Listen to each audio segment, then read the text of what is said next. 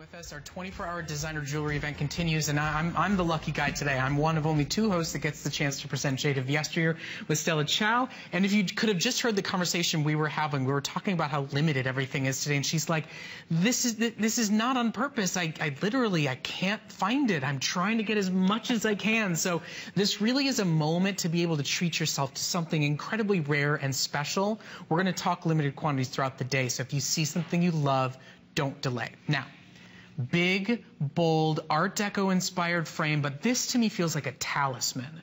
You know, this is, is, a really bold, fun, glamorous way to wear your classic oval green jade. So you've got your prong set oval center, and then this Art Deco inspired frame that has your tiers of both open work and CZs.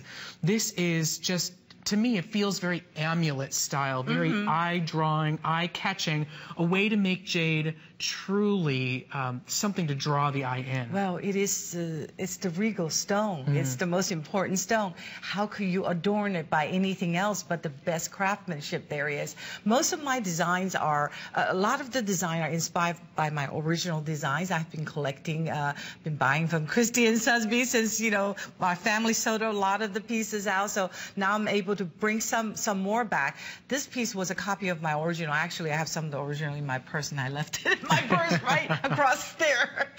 Uh, but uh, uh, the, the design is fabulous, and to you, that's what it looked like. But it is a very, very uh, uh, to me, it's a very Christie Sotheby auction pieces. It's beautiful. It's a very large piece. It really sparkles. Um, there's not a better way. You see how it curved down and with with the. It, it, I guess it's a you said Art Deco, I, I, guess is more of the 1950s look. Oh, okay. Right? Can you see that? Yeah, yeah. You know, more of the 1950s, uh, back in those David Webb's big time, you know, mm. when he was doing those bow type of jewelry, except he wasn't using the, diamond as much back then. Yeah, I, to me, that those are the pieces. And when we talk about places like Christie's and Sotheby's, mm -hmm. I mean, mm-hmm. these are this is an aspirational way to be able to get something that we dream about, right? Right. we, we don't all, all have, you know, black cards and, and unending amounts of money, but you want to be able to celebrate those styles, and that's what Stella has done. She has gotten the chance to experience those moments in time and she has recreated them for you. She has sourced true jade. I mean, if you're out there in the market shopping for jade, you'll see prices go up, you'll see availability go down, and a lot of it is not the real thing.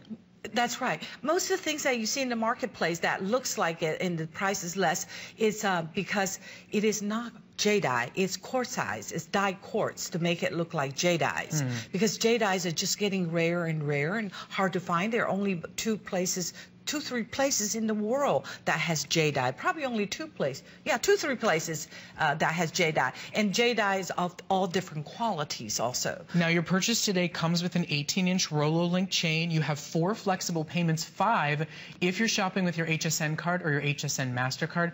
You know, if you look at Colette right now and you see the way that amulet, that center pendant drop just sits right at the end of her neckline, it almost looks like a brooch, like an accent piece mm -hmm, on her mm -hmm. clothing. And yet, if she were wearing a high neck, it would be this beautiful center focus, like target look to drive your eye right to uh -huh. when you see her wearing it, because it's got such balance to it and yet draws the attention in. And if you want to wear it in the evening, if you like, you could add maybe two more chains to it too. Hmm. So it'll make it a little more sparkling. I think the chain, well, you know, the chain is always free. We always provide you uh, a free chain and, and it, sterling silver. This is not brass or anything like that. Mm -hmm. But so if you want to make it more dressier, you could make it a diamond cut chain or mm. something like that. And you use two, three chains that will make it even uh, more interesting.